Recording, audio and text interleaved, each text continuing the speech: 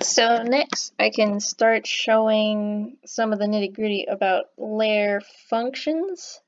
What I want to do with this piece specifically is I want to make a gradation in the fire from probably that tomato red to uh, more of an orange from bottom to top. To start with that, I'm going to mess around with the selection tools. So my inking layer needs to be the only layer shown. It needs to be selected over in the layers like so. My inking layer is layer number three. It's selected. So what I do is I make sure that all of my inks have closed corners so that this is registered as one complete shape. Uh, that way you can use the wand lasso tool and it will automatically select everything in the image as just a shape.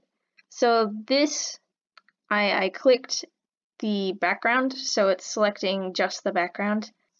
Anything in purple is something that's outside of selection.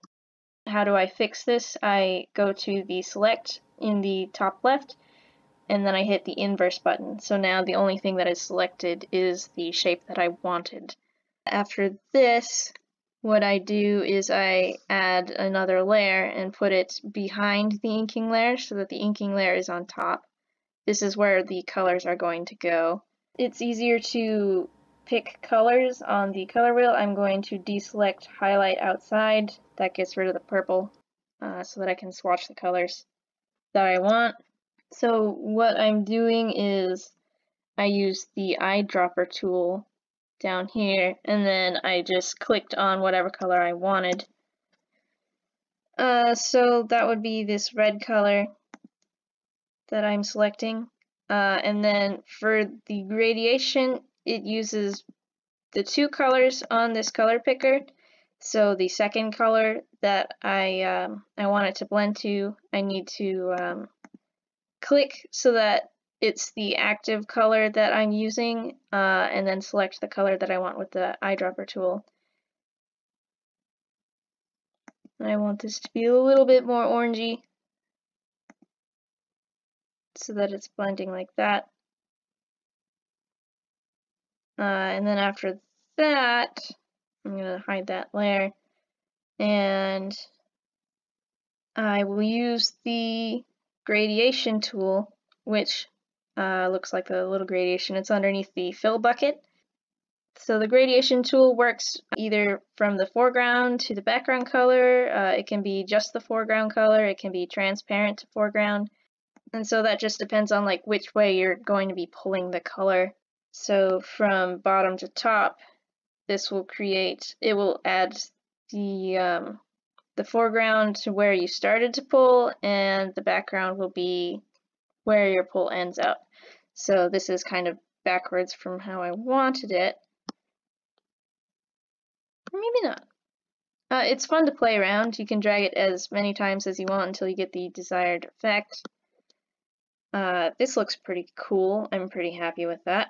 Then I'm going to go back to selection and deselect the um, the shape that I was using, you can tell that it's still selected because it looks like a little dashed line following all of the edges. Uh, so I'm going to deselect that now. Uh, and then the in inner flame bits here are going to be a different gradation of color, so I'm going to add another layer, uh, untoggle the um, orangey red gradation and then I will use the magic wand selection tool again. It helps to have highlight on outside toggled for this so that you can uh, easier it's easier to see what's going on. So uh, let me try that again.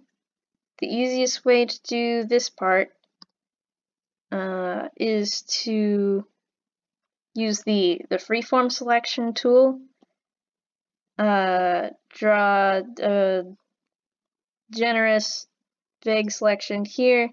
You can add or subtract from this by using the shift and control functions.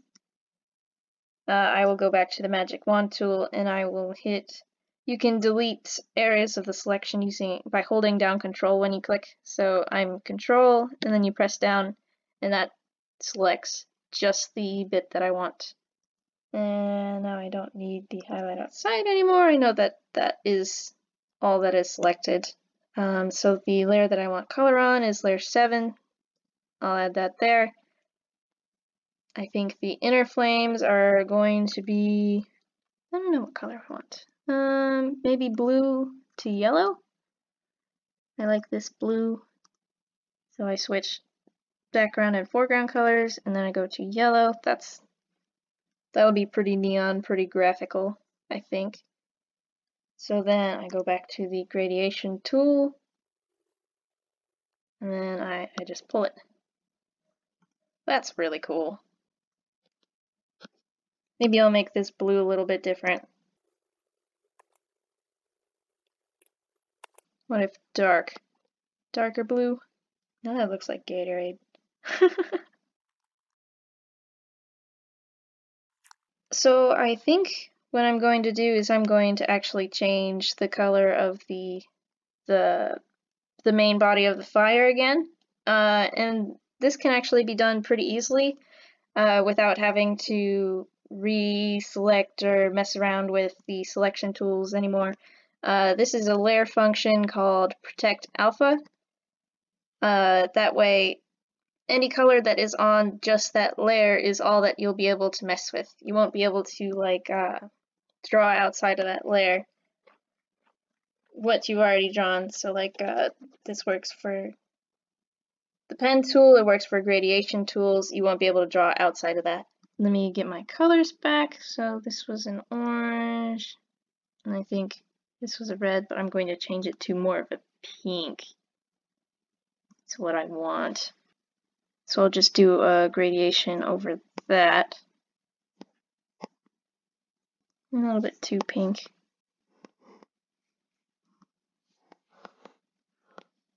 That looks about right. And for this, I think the only reason I needed the line art was to enclose the shapes. So since I am happy with how the shapes look, and I've got my gradations down, I can just turn the inking layer off, and now I have a really cool lineless flame looking thing here. Uh, the background, I'm going to do just solid black, I think. Alright, so now that I have my shape done, I want to do a background. I think I'm just going to do it a solid color close to black. To do that, I make another layer and I put it behind the, the layer with my colors on it so that it shows up behind there. Uh, an easy way to uh, make a solid color on the background is to just use the fill bucket tool. Um, make sure if you want to make an entire layer a solid color that when you have uh, you set the reference to the active layer and you make sure that the layer that you're putting it on is what's selected over on the right in the layer menu. Uh, so yeah, you select the fill bucket tool and you just you click it you click the uh, screen where you want the color. And so that that's pretty decent color. And you can see since I selected the active layer, it didn't just fill in around the uh, the fire shape. It also filled behind it. To complete this simple illustration, I think I'm going to add a glow around the fire